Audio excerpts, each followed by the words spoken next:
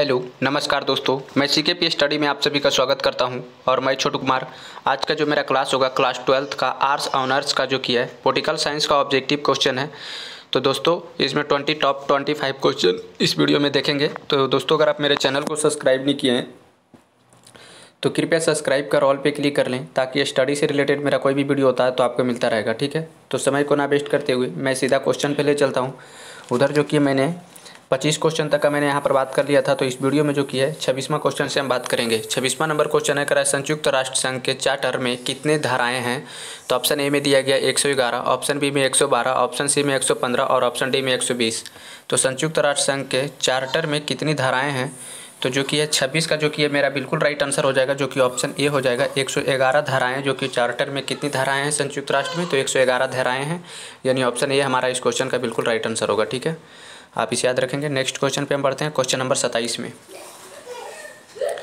सत्ताईसवां question है, करा संविधान के किस अनुच्छेद में केंद्र और राज्य के बीच में जो कि है, विधायी संबंधों का उल्लेख है तो ऑप्शन ए में दिया गया अनु तीन दो सौ पैंतालीस माइनस दो सौ पच्चीस ऑप्शन बी में अनु जो कि दो सौ चालीस माइनस दो सौ पच्चीस, और ऑप्शन सी में अनु दो सौ बावन माइनस तीन सौ साठ, और ऑप्शन डी में इनमें से कोई नहीं। तो संविधान के किस अनुच्छेद में केंद्र और राज्य के बीच में जो कि विधायी संबंधों का उल्लेख है तो सत्ताईस का जो कि यहाँ पर मेरा बिल्कुल राइट आंसर होगा, जो कि ऑप्शन ए होगा अनु जो जो कि है दो सौ पैंतालीस माइनस दो सौ पच्चीस जो होता है, राज्य के बीच में विधायी संबंधों का उल्लेख रखता है, अनु दो सौ पैंतालीस माइनस टू ट्वेंटी फाइव ठीक है? टू हंड्रेड ट्वेंटी फाइव तो ऑप्शन ए हमारा राइट आंसर है, आप इसे याद रखेंगे। नेक्स्ट क्वेश्चन पे हम चलते हैं क्वेश्चन नंबर अट्ठाईस में। अट्ठाईसवां क्वेश्चन करा मुख्यमंत्री की नियुक्ति कौन करता है तो ऑप्शन ए में दिया गया राष्ट्रपति ऑप्शन बी में प्रधानमंत्री ऑप्शन सी में राज्यपाल और ऑप्शन डी में उच्च न्यायालय के मुख्य न्यायाधीश। तो मुख्यमंत्री की नियुक्ति कौन करता है तो अट्ठाईस का जो कि मेरा बिल्कुल राइट आंसर हो जाएगा, जो कि ऑप्शन सी हो जाएगा। मुख्यमंत्री को जो नियुक्ति करता है, वो राज्यपाल करता है, ठीक है? राज्य का जो राज्यपाल होता है, वही मुख्यमंत्री की नियुक्ति करता है। यानी ऑप्शन सी हमारा बिल्कुल राइट आंसर होगा। आप इसे याद रखेंगे। नेक्स्ट क्वेश्चन पे हम चलते हैं। क्वेश्चन नंबर उनतीस में। उनतीसवां क्वेश्चन है, करा भारतीय संविधान में कितने मौलिक कर्तव्य है? तो ऑप्शन ए में दिया गया है आठ ऑप्शन बी में नौ ऑप्शन सी में दस और ऑप्शन डी में ग्यारह। तो भारतीय संविधान में कितने मौलिक कर्तव्य है? तो उनतीस का जो कि है, मेरा बिल्कुल राइट आंसर हो जाएगा, जो कि ऑप्शन डी हो जाएगा। ग्यारह जो कि है मौलिक कर्तव्य है, जो कि भारतीय संविधान में ग्यारह मौलिक कर्तव्य है, यानी ऑप्शन डी हमारा बिल्कुल राइट आंसर होगा। आप इसे याद रखेंगे नेक्स्ट क्वेश्चन पे हम चलते हैं क्वेश्चन नंबर तीस में। तीसवा क्वेश्चन है, करा राज्यों के संवैधानिक प्रमुख कौन है?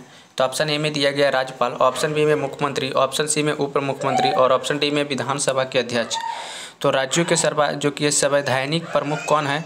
तो तीस का जो कि मेरा बिल्कुल राइट आंसर हो जाएगा, जो कि ऑप्शन ए हो जाएगा, ठीक है? राज्यपाल जो होता है, राज्यों के संवैधानिक प्रमुख होता है राज्यपाल, ठीक है? यानी ऑप्शन ए हमारा बिल्कुल राइट आंसर होगा, आप इसे याद रखेंगे। नेक्स्ट क्वेश्चन पे हम चलते हैं, क्वेश्चन नंबर इकतीस में। इकतीसवां क्वेश्चन है करा कौन सा विधान संशोधन शहरी स्थानीय शासन से जुड़ा है? तो ऑप्शन ए में दिया गया पचहत्तरवा ऑप्शन बी में चौहत्तरवा ऑप्शन सी में तिहत्तरवा और ऑप्शन डी में बहत्तरवा। तो कौन सा विधान संशोधन शहरी स्थानीय शासन से जुड़ा है? तो इकतीस का जो कि मेरा बिल्कुल राइट आंसर होगा, जो कि ऑप्शन बी हो जाएगा, चौहत्तरवा जो कि है, शहरी स्थानीय शासन से जुड़ा हुआ है, चौहत्तरवा, यानी ऑप्शन नंबर बी हमारा इस क्वेश्चन का जो कि बिल्कुल राइट आंसर होगा। ठीक है, आप इसे याद रखेंगे नेक्स्ट क्वेश्चन पर हम चलते हैं। क्वेश्चन नंबर बत्तीस में। बत्तीसवा क्वेश्चन है, करा, किस देश का संविधान विश्व का सबसे बड़ा संविधान है? तो ऑप्शन ए में दिया गया यूएसए ऑप्शन बी में रूस ऑप्शन सी में है दक्षिणी अफ्रीका और ऑप्शन डी में भारत। तो किस देश का संविधान विश्व का सबसे बड़ा संविधान कहलाता है? तो बत्तीस का, जो कि मेरा बिल्कुल राइट आंसर होगा, जो कि ऑप्शन ए हो जाएगा। भारत का, भारत देश में जो कि है, विश्व का सबसे बड़ा संविधान है भारत में। ठीक है? यानी ऑप्शन डी हमारा बिल्कुल राइट आंसर हो जाएगा। आप इसे याद रखेंगे। नेक्स्ट क्वेश्चन पर हम चलते हैं। क्वेश्चन नंबर तैंतीस में। तैतीसवां क्वेश्चन है करा किस वर्ष श्रीमती इंदिरा गांधी ने अपना काल आपातकाल की घोषणा की तो ऑप्शन ए में दिया गया उन्नीस सौ पचहत्तर ईस्वी ऑप्शन बी में उन्नीस सौ छिहत्तर ऑप्शन सी में उन्नीस सौ सतहत्तर और ऑप्शन डी में उन्नीस सौ चौहत्तर। तो किस वर्ष श्रीमती इंदिरा गांधी ने आपातकाल की घोषणा की थी? तो तैतीस का जो कि मेरा बिल्कुल राइट आंसर हो जाएगा, जो कि ऑप्शन ए हो जाएगा, उन्नीस उन्नीस ईस्वी में इंदिरा गांधी ने जो कि आपातकाल की घोषणा किया था, जो कि उन्नीस सौ पचहत्तर ईस्वी में किया था, जो कि इंदिरा गांधी ने किया था, यानी ऑप्शन नंबर ए हमारा बिल्कुल राइट आंसर होगा। ठीक है, आप इसे याद रखेंगे। नेक्स्ट क्वेश्चन पे हम चलते हैं। क्वेश्चन नंबर चौंतीस में। चौंतीसवां क्वेश्चन अगर भारतीय संविधान के किस भाग में राज्य के नीति निर्देशक तत्व निहित है तो ऑप्शन ए में दिया गया भाग टू ऑप्शन बी में भाग थ्री ऑप्शन सी में भाग फोर और ऑप्शन डी में भाग फाइव तो भारतीय संविधान के किस भाग में राज्य के निहित निर्देश तत्व निहित है तो यहाँ पर चौंतीस का जो कि मेरा बिल्कुल राइट आंसर हो जाएगा, जो कि ऑप्शन सी हो जाएगा, यानी भाग फोर जो होता है भारतीय संविधान में, जो कि नीति के अनुसार जो कि तत्व निहित है, ठीक है? यानी ऑप्शन नंबर सी हमारा बिल्कुल राइट आंसर हो जाएगा, आप इसे याद रखेंगे। नेक्स्ट क्वेश्चन पे हम चलते हैं क्वेश्चन नंबर पैंतीस में। पैंतीसवा क्वेश्चन है करा बजट का संबंध किस पक्ष के साथ है तो ऑप्शन ए में दिया गया आय ऑप्शन बी में व्यय ऑप्शन सी में आय एवं व्यय दोनों, और ऑप्शन डी में इनमें से कोई नहीं। तो बजट का संबंध किस पक्ष के साथ है तो पैंतीस का जो कि मेरा बिल्कुल राइट आंसर हो जाएगा, जो कि ऑप्शन जो कि पैंतीस का मेरा बिल्कुल राइट आंसर होगा, जो कि ऑप्शन सी हो जाएगा, यानी आय एवं बीआई जो होता है बजट का संबंध पक्ष रखता है कौन कौन आय और बीआई तो ऑप्शन सी हमारा बिल्कुल राइट आंसर हो जाएगा।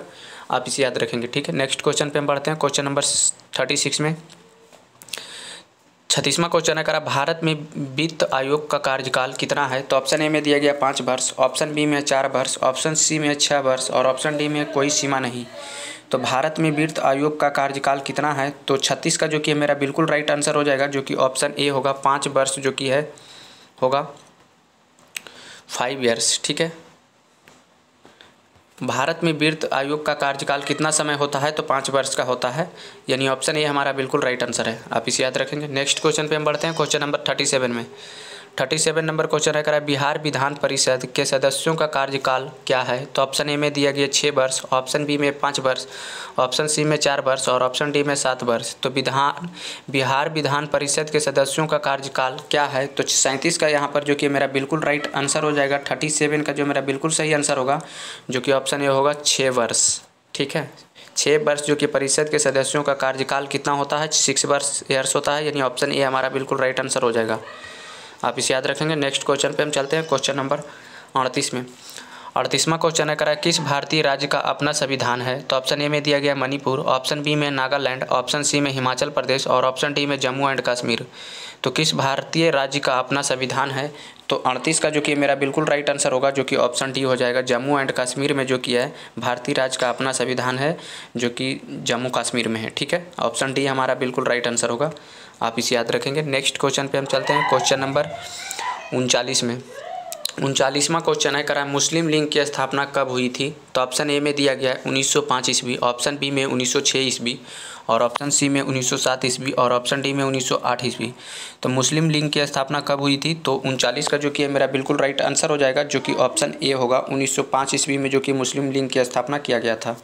यानी ऑप्शन ए हमारा बिल्कुल राइट आंसर हो जाएगा।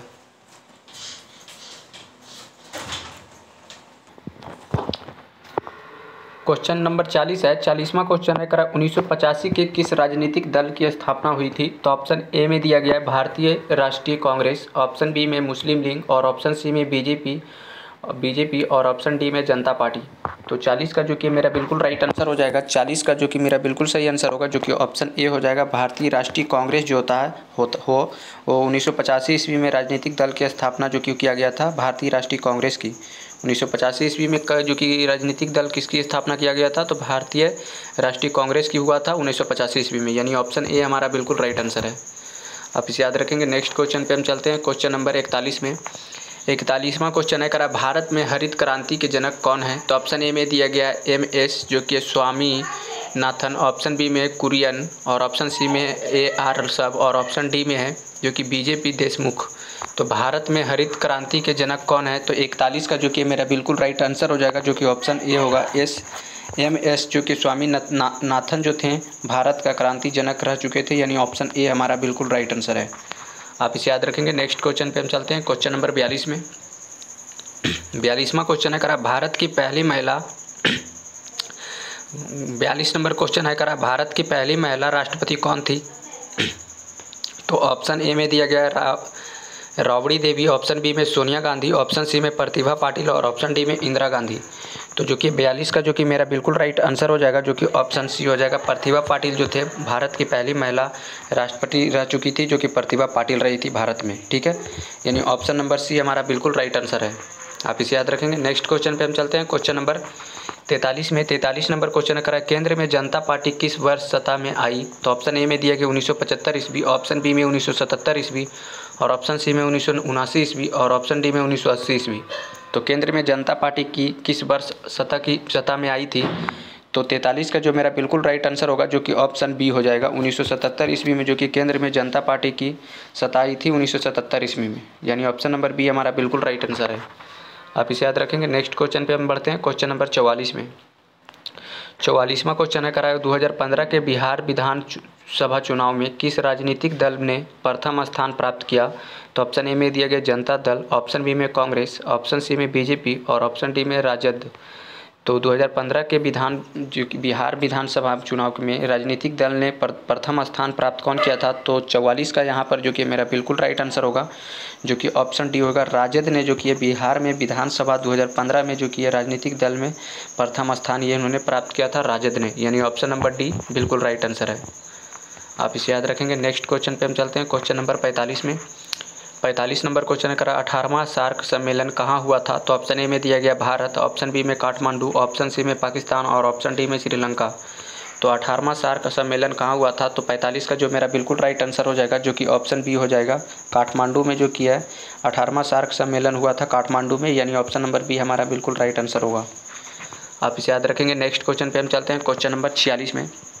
छियालीसवां क्वेश्चन है, करा सी टी बी टी प्रस्ताव संयुक्त राष्ट्र संघ द्वारा कब स्वीकार स्वीकारा गया था? तो यहाँ पर ऑप्शन दिया हुआ ऑप्शन ए में उन्नीस सौ पंचानवे ईस्वी ऑप्शन बी में उन्नीस सौ छियानवे ईस्वी और ऑप्शन डी में उन्नीस सौ संतानवे ईस्वी और ऑप्शन सी में उन्नीस सौ ऑप्शन डी में उन्नीस सौ अंठानवे ईस्वी। तो सी टी बी टी प्रस्तावना संयुक्त राष्ट्र संघ कब जो कि स्वीकारा गया था? तो छियालीस का जो कि मेरा बिल्कुल राइट आंसर होगा। जो कि ऑप्शन बी हो जाएगा उन्नीस सौ छियानवे ईस्वी में जो किया है। सीटीबीटी प्रस्तावना जो कि संघ द्वारा कब स्वीकार किया गया था तो उन्नीस सौ छियानवे ईस्वी में स्वीकार किया गया था। यानी ऑप्शन नंबर बी हमारा बिल्कुल राइट आंसर है। आप इसे याद रखेंगे। नेक्स्ट क्वेश्चन पे हम चलते हैं। क्वेश्चन नंबर सैंतालीस में। सैंतालीस नंबर क्वेश्चन है। करा भारत द्वारा दूसरा सफल दूसरा जो कि सफल परमाणु परीक्षण कब किया गया? तो ऑप्शन ए में दिया गया है उन्नीस सौ इकहत्तर ईस्वी ऑप्शन बी में उन्नीस सौ चौहत्तर ईस्वी और ऑप्शन सी में उन्नीस सौ अस्सी ईस्वी और ऑप्शन डी में उन्नीस सौ अंठानवे ईस्वी। तो भारत द्वारा दूसरा जो कि सफल परमाणु परीक्षण कब किया गया था? तो सैंतालीस का जो कि मेरा बिल्कुल राइट आंसर हो जाएगा, जो कि ऑप्शन डी हो जाएगा उन्नीस ईस्वी में, जो कि भारत में दूसरा सफल परमाणु परीक्षण किया गया था उन्नीस सौ अंठानवे ईस्वी में। यानी ऑप्शन नंबर डी हमारा बिल्कुल राइट आंसर हो जाएगा, ठीक है? आप इसे याद रखेंगे। नेक्स्ट क्वेश्चन पे हम चलते हैं। क्वेश्चन नंबर अड़तालीस में। अड़तालीस नंबर क्वेश्चन है करा भारत के प्रथम प्रथम प्रधानमंत्री कौन थे? तो ऑप्शन ए में दिए गए अंबेडकर और ऑप्शन बी में सरदार पटेल और ऑप्शन सी में पंडित नेहरू और ऑप्शन डी में इनमें से कोई नहीं। तो भारत के प्रथम प्रधानमंत्री कौन थे? तो अड़तालीस का, जो कि मेरा बिल्कुल राइट आंसर हो जाएगा, जो कि ऑप्शन सी हो जाएगा। पंडित जवाहरलाल नेहरू जो थे, भारत के प्रथम प्रधानमंत्री रह चुके थे। यानी ऑप्शन सी हमारा बिल्कुल राइट आंसर है। अगला क्वेश्चन क्वेश्चन नंबर उनचास। उनचास नंबर क्वेश्चन है, करा संयुक्त राष्ट्र संघ के प्रथम एशियाई, जो कि महासचिव कौन थे? तो ऑप्शन दिया हुआ ऑप्शन ए में बन की मूल ऑप्शन बी में यूसा थार्ट ऑप्शन सी में कॉफ़ी अन्नान और ऑप्शन डी में है, जो कि है बुतरस, जो कि घाली। तो संयुक्त राष्ट्र संघ के प्रथम एशियाई महासचिव कौन थे? तो यहाँ पर जो कि उनचास का जो मेरा बिल्कुल राइट आंसर हो जाएगा, जो कि ऑप्शन बी हो जाएगा, यू, थार्ट जो था जो कि संयुक्त राष्ट्र संघ के प्रथम एशियाई महासचिव रह चुके थे। यू थार्ट यानी ऑप्शन नंबर बी हमारा इस क्वेश्चन का, जो कि बिल्कुल राइट आंसर हो जाएगा, ठीक है? आप इसे याद रखेंगे। नेक्स्ट क्वेश्चन पे हम चलते हैं। क्वेश्चन नंबर पचास। पचास माह है। कराग्राम कचहरी का प्रधान कौन होता है? तो ऑप्शन ए में दिया गया है सरपंच, ऑप्शन बी में मुखिया और ऑप्शन सी में वार्ड सदस्य और ऑप्शन डी में इनमें से कोई नहीं। तो ग्राम कचहरी का प्रधान कौन होता है? तो यहाँ पर पचास का जो मेरा बिल्कुल राइट आंसर हो जाएगा, जो कि ऑप्शन ए हो जाएगा। जो कि ऑप्शन ए हो जाएगा, यानी सरपंच जो होता है, ग्राम कचहरी का एक प्रधान होता है, यानी ऑप्शन नंबर ए हमारा बिल्कुल राइट आंसर हो जाएगा।